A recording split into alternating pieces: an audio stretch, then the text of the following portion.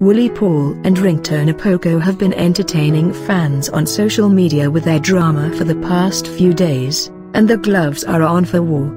It all started after Willy Paul called out Ringtone for acting petty just after the release of his new song featuring Nadia Mukami. According to Ringtone, Willy Paul had lost his way as a Christian. After coming across Ringtone's post about his new song, Former gospel artist Willy Paul also decided to clap back telling him to mind his business.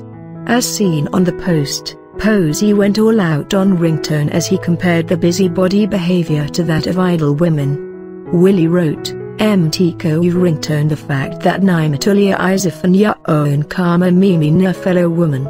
Bloody na you achan nanadia Mukami. To wimbo yako shenzi, Hashnukian is a hit and er life is a miss.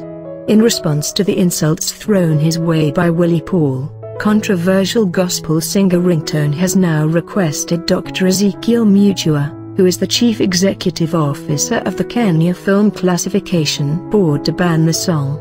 Through his official Instagram page, Ringtone shared the message below saying, Dear Dr. Ezekiel Mutua please burn this stupid, evil, devilish song by Willy Paul and Nadia Mukami to bring sanity in this music industry.